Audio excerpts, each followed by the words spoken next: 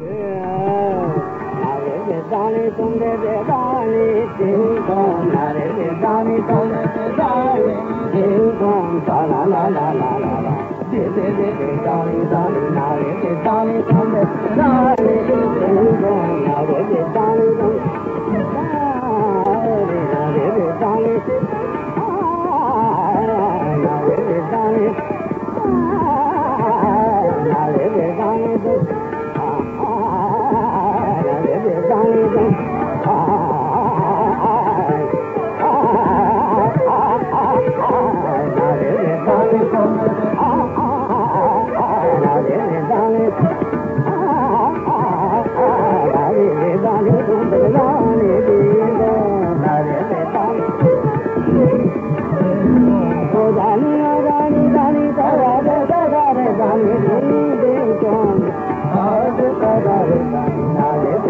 Thank you.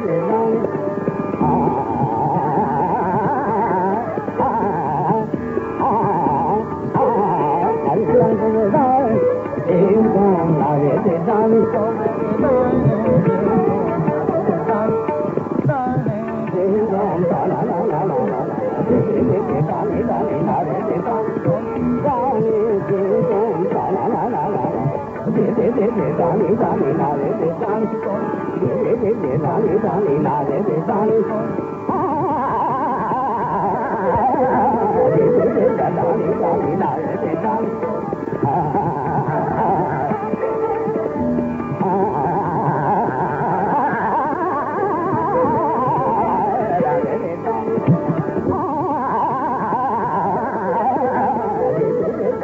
có nghĩ đời để tiền đâu à.